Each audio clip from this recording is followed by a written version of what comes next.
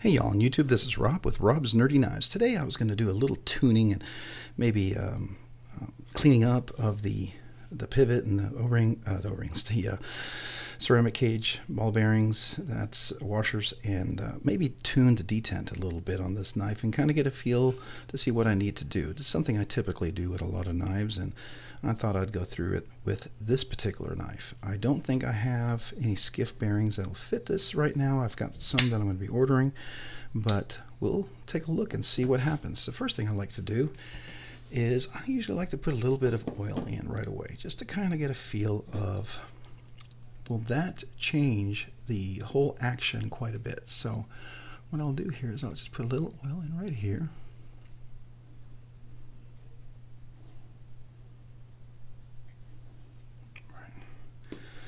course I'm doing this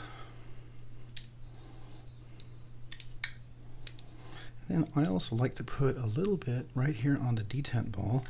So this is the Nano Oil 10 weight. Used it quite a bit. You can see it's not even, can't even read it anymore. Probably need to get a new bottle. And this is the Nano Oil 85 weight. This is the heavier, higher viscous stuff. So this I will go ahead and put right here.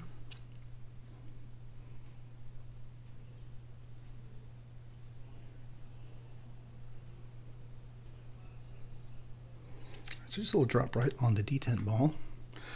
I like to work that in a little bit. Go back and forth.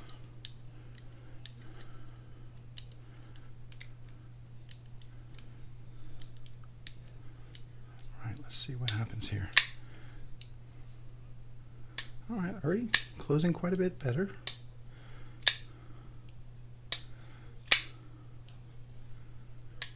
Definitely closes quite a bit better by itself. That's for sure. definitely nice. Yeah, I think I might still take it apart. So let's go ahead and take a look. These all look like they might be T8s.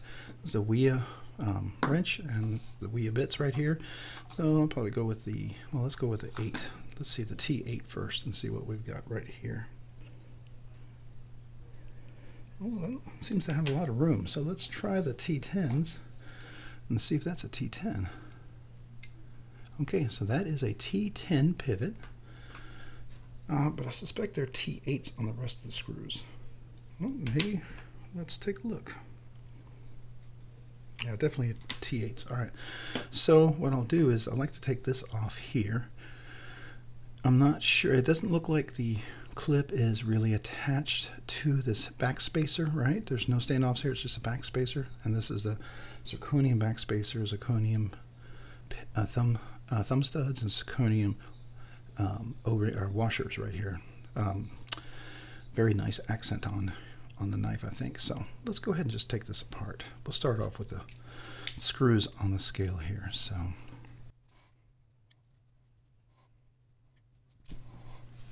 That's a pretty long screw there. Well, as you can see, there's no hardware on this side, so it's all going all the way through. That's interesting. That's nice.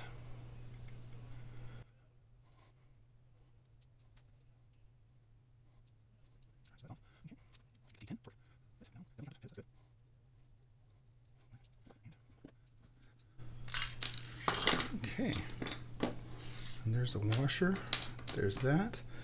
Here's your zirconium accents with a little pin to kind of keep it in place. That little pin right there. Gotta make sure we keep that over there. Oops. All right. You can look at these washers right here. You know what? I may, while we have these out, hold one second. I'm going to grab my washers real quick. See if that looks like they might be the smaller ones. Let's take a look and see if they might actually fit. Now, in my unboxing video, I talked a little bit about maybe putting O-rings on here because I don't know if you can see that. Looks like there's a little space back there. Wonder if the O-ring would fit on there.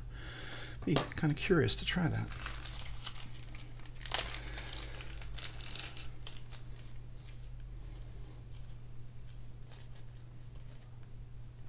Alright, so these are the smaller ones. I bet they're the 0.2 millimeter or 0.2 inches, not the 0.89, but we can try it. Let's give it a try. I'll know as soon as I attempt to put this on. Does it fit? Oh, yeah. All right. Sorry, got a little excited there. Yeah, all right, all right. We'll try, we'll go ahead and put the Skiff washers on there. Okay, so the Skiff washers that I'm putting on there are these right here. Rocket Glides, 3 16th point, inner diameter is 0.189 inches, outer diameter is 0.370 inches, thickness is 0.05 inches. It's 11 um, ceramic ball count, all right, and the balls are 1 16th of an inch. So as you can see on here, this one here has, let's see, what do we have on here? We have two, four, six, eight, nine. This is nine, and these have 11. So it's definitely give you maybe a little more stability, right? All right, so one of the things that I notice here, I'm going to go ahead and wipe that down. I'm going to go ahead and wipe the blade down too.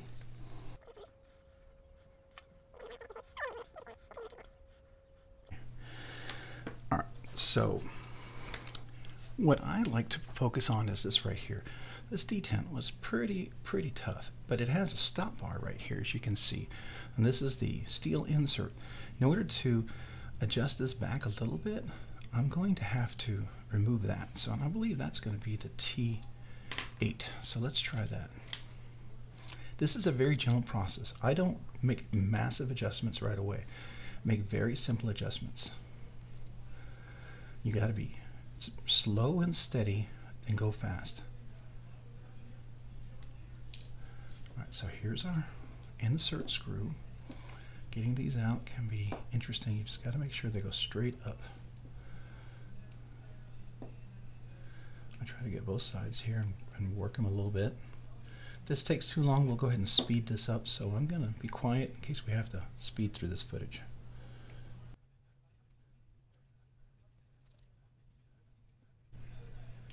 There we go. All right. Now, this clip is definitely riding on here, so I'm going to go ahead and take this off in this case, so we're not fighting that.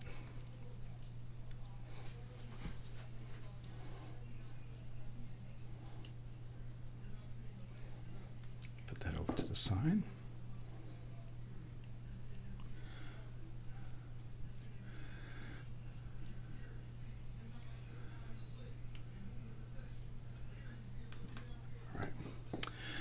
All right, so now here we are. As you can see, this right here is up a little bit. And what I like to do is I like to measure how much do I see coming over the edge right there. You see that? That's what I'm looking for is this edge right here. Okay, so I do a very small adjustment, make sure it doesn't go too far. So the first thing I want to do is try to go back just a little bit. Does it move anything? Okay, we'll go a little bit more. Does it do anything? Okay, we'll go just a little bit more. All right, that's pretty, pretty tough. Okay, might see a little movement. All right, looks like I've got a little bit of movement. I don't need much.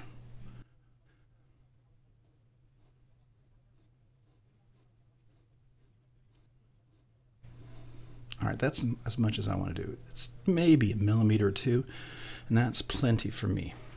And I can always come back and do this again, right? And that's fine. All right, so now we got the, the steel insert on there. And I use Loctite 242. Sorry, just like to make sure it's tapped down because if not, it bubbles up to the tip of it. Sometimes spills everywhere. All right, so let's get our screw here. Let's get a little bit on there. So just a little bit. Do you see that? Just a little bit on there.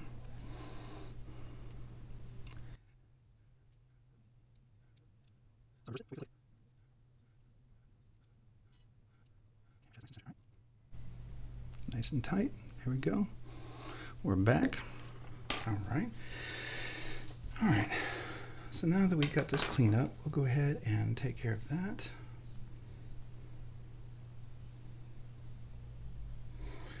Alright, so now what I like to do is as I reassemble this knife, I like to put a little oil in key places. So right here, this would be a place that I put oil right in here. You can see this is really well milled out. That's really, really nice. I like that a lot.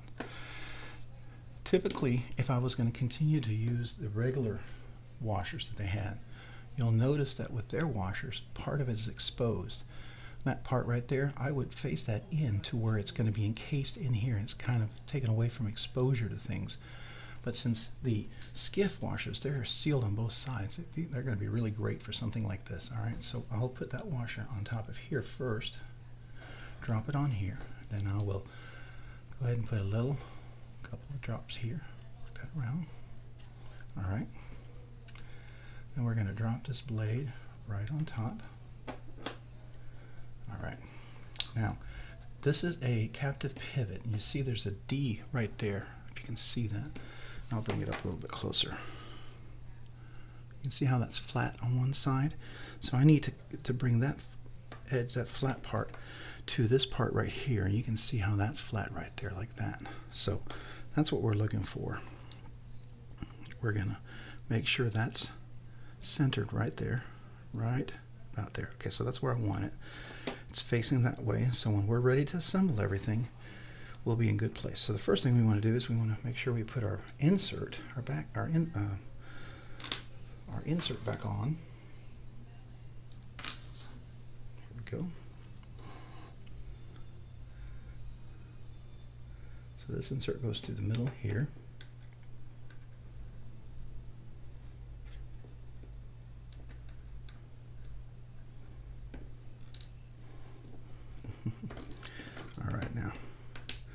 maybe I need to put that insert on first and then fit it right on top.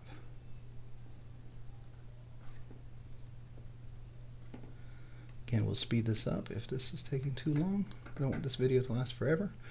Alright, so there we go. We got that. Okay. Now, this is captive. I mean, uh, the like the stop pin um, for the knife is actually in the blade, and it works within the actual scales themselves and you'll see that there's a stop pin on both sides so it's stopping right now right there okay so that's good just want that centered over here now next thing I want to do is put my oil on here now one thing I didn't do real quick is I typically put a little oil over here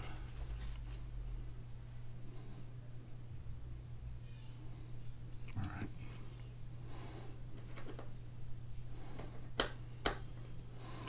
And we'll do a little oil right here.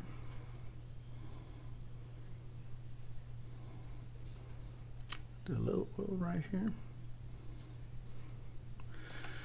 then we'll get our washer. Drop that on. Put a little oil on top. So we roll it. Okay. Now before I put this on, I'm going to get my heavy duty 85 nano oil. I want this detent ball. This is the track that it's going to be riding on, okay? So I want to I'm going to put a little oil in here. If you can all see that, make sure I'm centering here. Put it on the, the track that it's going on, which is likely this track right here. And I'll put a little drop over here on this. Okay, there we go. All right, now let's begin to assemble the rest of the knife. Want to make sure we get that nice and straight here. All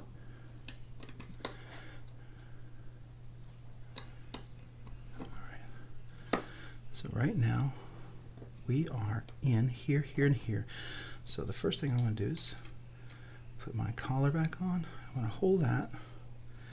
Now let me get switch out my switch out my Torx bits here so we can get the right size. And I'm going to put a little bit of Loctite 242. I'm going to lose that. I'm going to go ahead and do this so we can see this. Make sure we're being precise. I'm, oh, that's exactly what I didn't want to do. Okay, I have a little too much. Yeah, way too much. Let's clean that up. I don't want to have that much on there. That's way too much. Alright, let's do that again. Try to see if we can be a little cleaner. Try and do this for the video, so I apologize if uh, it gets a little messy. But Alright, so now we have some on, on the screw.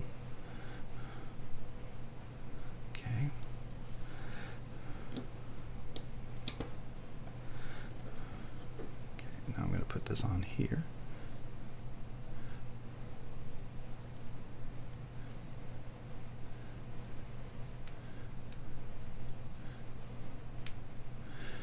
Reverse thread it till I hear the click and then I'm going to go through.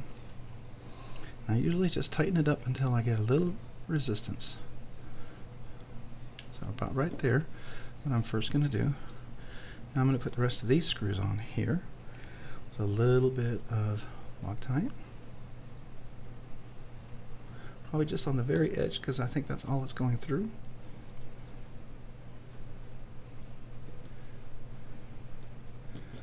Yep, all the way through there. We'll put the other one on here. Just a little touch.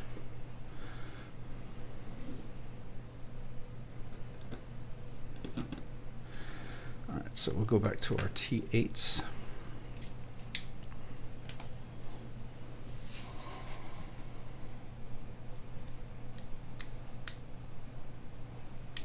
Alright, so reverse thread till it clicks.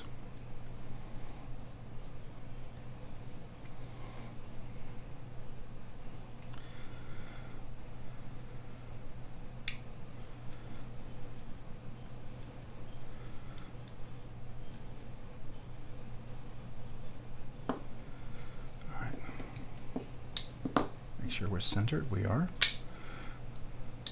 Make sure we have any rock play. No rock play. Still locked up, nice and solid.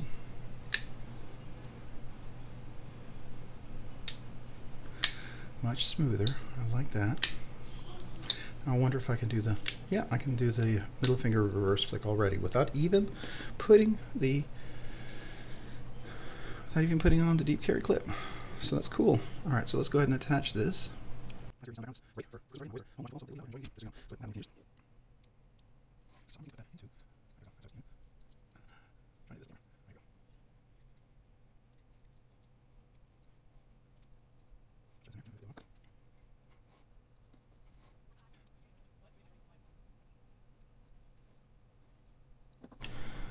right. All right, there we go. Alright, so now we got the deep pocket carry clip back on. Let's see the action. Oh yeah, much nicer. And that's going to keep breaking in, especially because it's got the PVD coating on here. It's a little more friction on the knife, obviously, so you know, we're going to have that we're dealing with and contending with. So until that really really breaks in, that's kind of one of those things you're dealing with right now. So I'm going to like have it drop right here. Goes down really nicely can choke up really nicely on this knife. This edge is crazy. I love that, especially with that hollow grind. Just drop that really nicely. Let's see. Should be able to reverse flick that pretty nicely. Yeah, there we go. Yeah, I like the way it's cut out here. The thumb studs work really, really, really well. That's really nice. You can definitely use those thumb studs well. And I think once I got that, yeah. All right, so let's figure this out.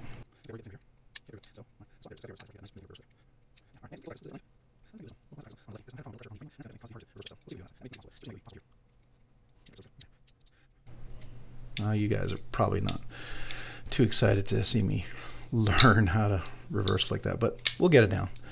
But the action's already breaking in really, really nicely. I like that a lot. All right. Yeah, now I did put, let's make sure we're centered. Are we centered? Uh, we might be off a little bit. Maybe I was starting to flick a little too soon. Let's see if we can tighten that up. Does that get us back to center? Uh,